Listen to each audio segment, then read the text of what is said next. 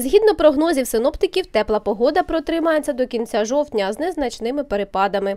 Тепломережі готуються в проміжках часу кінець жовтня, початок листопада розпочинати опалювальний сезон. Технічно підприємство готове запустити на місто тепло. Все буде залежати від погодних умов і стабільно низької температури. Технічно ми готові. Е, Треба рішення виконкому, ну і здоровий глузд. Тобто, на мій погляд, 1 листопада потрібно починати. Ні, ну коли в день 22-18, то да, тепло ніхто не включає. Ну, в сусідньому місті включили опалення 10 жовтня. Люди в Кривому, Кривому Розі, не в всьому. Там, де заборгованість мільярд сімсот.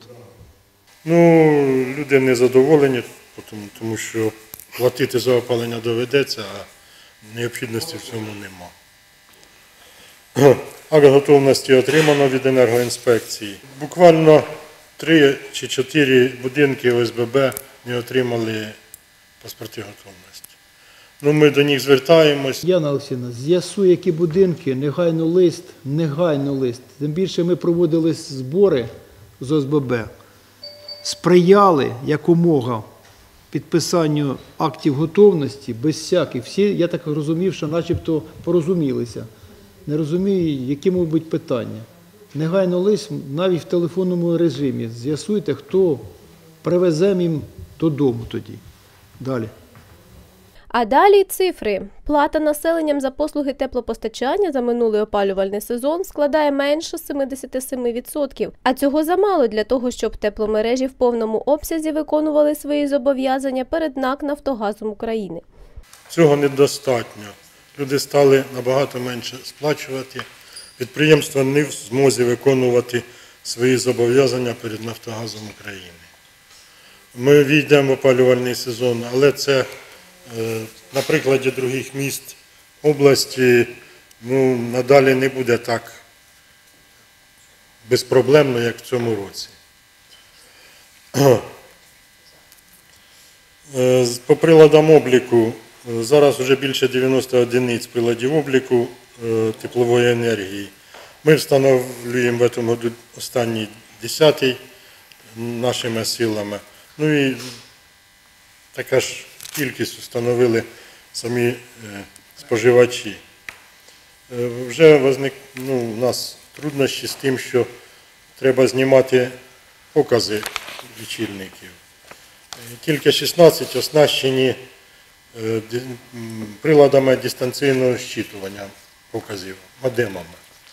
Ми листи розсилаємо, але поки реакції е, особливої немає. Самим е, тим, хто володіє цими приладами, є е, смисл встановлювати модеми, тоді щитування буде і на обслуговування приладів буде е, підприємством менше нараховуватись суми. Ну, ми те, що зможемо, самі встановимо, а ну, це е, треба вивчати правову базу. Так як нам е, закон не дозволяє встановлювати тільки модеми без приладів обліку. Ну, а так питань нема. Так, по ліквідації наслідків аварійних розкопок, як ви кажете. Ви все зробили в цьому році?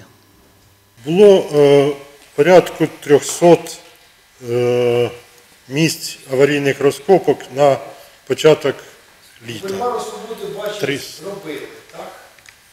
Ну, ми знайшли е, нарешті якийсь алгоритм того, як це робити влітку, коли в нас немає коштів. КП «ЖРЕО» також спрацювало. Ми е, з ними е, 33% розкопок в цьому році е, заасфальтували. Ну, на наступний рік будемо також цими силами. 33% це порядка 100, е, 100 місць розкопок минулих років. Я це думала. також Це стосується ж і водоканалу, Ірина Леонідовна, теж. Очень хорошо, мне КПЖО должно деньги. Предприятие относится к э, городскому совету, поэтому выделяйте деньги. Если ваше предприятие не может со мной рассчитаться, Я тогда сделаю это самостоятельно. Дополнительных средств для того, чтобы это сделать, к сожалению, у меня нет. Были бы деньги, все бы сделала. Добре. Тоді питання буде ще підприємства Житомирської міської ради.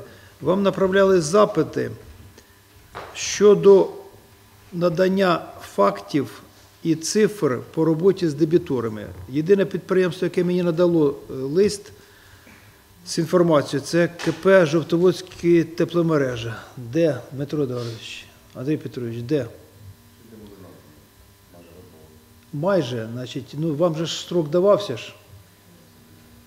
Ось тільки ви кажете, що у вас нема коштів. У вас дебіторська заборгованість по населенню є. У вас також є. В тепломережі також є. Вони мені надали інформацію, стільки вони подали позовів, там, заяв на виконання, які наслідки. По вас взагалі я цього не отримав. Дебіторська заборгованість по КП більше, я так розумію, 20 мільйонів по населенню. Яка робота проводилася? Я в реєстрі поки що не бачив рішення судів по населенню. По населенню. Ми населенню що, прощаваємо? Чи як тоді? Ну так я хочу подивитися, яка ж робота ведеться по дебіторам, будь ласка. Так, далі. А далі тема медицини: травми, гострі вірусні інфекції, інфекційні хвороби, інсульти практично на стабільному рівні, інформує керівник Жовтоводської міської лікарні.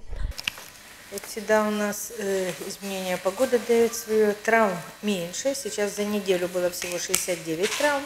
Но в выходные было очень много было детей. Такие травмы не очень э, серьезные. Но э, велосипеды, качели, то обращались вот даже буквально за субботу, по-моему, только за субботу человек 10. И это были дети, ну, кроме взрослых.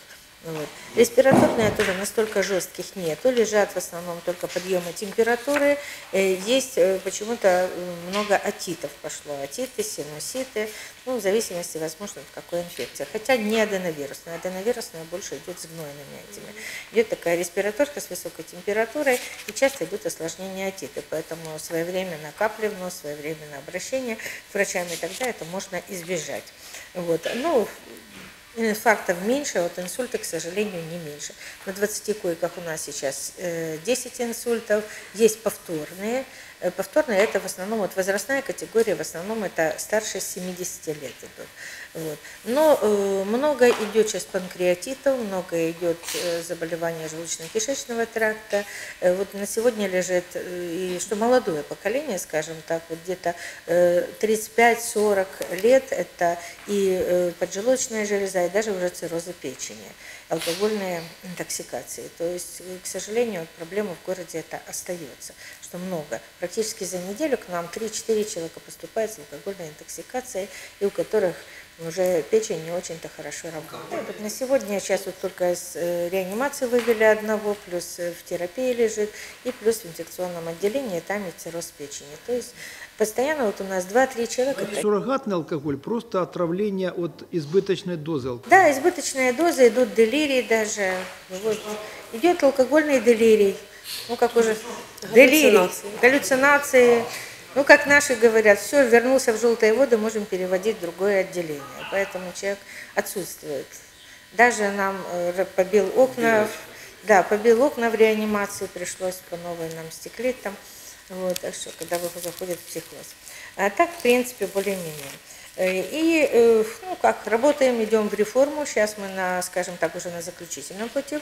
Мы практически сейчас подключаем компьютеры. Пришли нам уже лицензионные бумаги. Сейчас мы их подключаем. И э, уже договор у нас есть. На неделе подпишем договор с э, информационной системой. Ну, пока, учитывая финансовые наши, пока подписываем на регистратуру с обучением, возможно, на телемедицину. И посмотрим, как мы до конца года, что мы еще сможем. Но, в принципе, э, уже с 1 ноября должны спускаться будут документы, какие нужны будут для подписания договора. Но пока еще СНЗУ не спустила.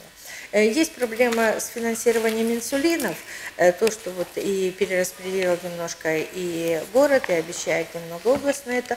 Вот, поэтому на инсулин. Вот. И поэтому сейчас я хочу сказать просто людям, что отпускать будет всего одна аптека, аптека Надия. Что просто рецепты, которые выписывают, сейчас же идут электронные рецепты, это мы уже работаем, узкие специалисты тоже с этим, поэтому они будут отпускать только одна аптека, аптека «Надея».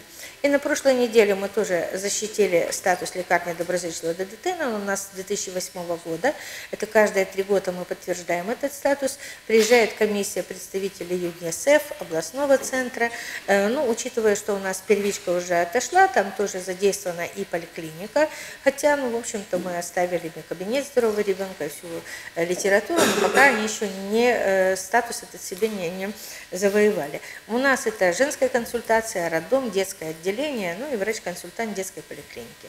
То есть прошли мы хорошо, зауважен практично нема, там два зауважения. Вот, э, очень высокий у нас процент идет партнерских родов. В принципе, ну, работаем, статус підтвердили, маємо все. В клинике у вас что сейчас находится вообще? Э, В детской поликлинике, ну, вторички вы имеете в виду наши? Да, это узкие специалисты. Это полностью окулисты, стоматологи, психиатр, лор. Кто? Фтизиатр э, там только один день консультирует, потому что фтизиатрическая служба, она имеет свои... Мы не будем. Это хотели собирать мокроту первичка. Хотела, да. Ну, это не меня спрашиваете, мы тоже говорили, что этого нельзя. Вот, у нас собирается мокрота фтизиатрическая, там, где у нас э, бывшая неврология, там у нас половина, мы их отделили, и детский фтизиатрический кабинет, он у нас э, в терапевтическом корпусе, там свои саннормы, там должен быть отдельный вход, отдельные туалеты, отдельное все, поэтому их совмещать э, с другими отделениями невозможно. Поэтому там идут свои саннормы. Так что все, в общем-то, идем, с этим и работаем. И еще один вопрос, который уже на протяжении лет пять звучит. Когда мы переедем? Когда? Когда мы переедем в то здание, которое мы сделали кровлю? Значит, Владимир Алексеевич, кроме того, что сделано кромля, там, конечно, в очень плохом состоянии находятся сами отделения.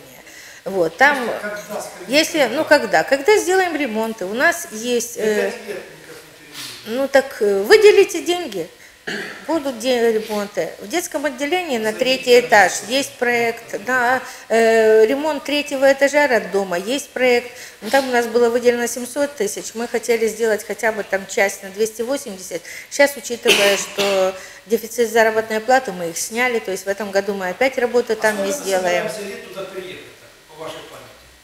Ну, если будут выделены деньги, то мы можем.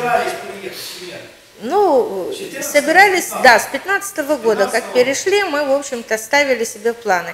Э, Ну, у нас проекты сделаны, мы их даже уже пере, э, пересматривали еще раз, потому что проекты лежат, они затверджены. Но, к сожалению, На превеликий жаль, лікарня зайшла в глухий кут і вже з січня місяця планується скорочення штату і медицину знову очікують зміни, в яку сторону побачимо з нового року.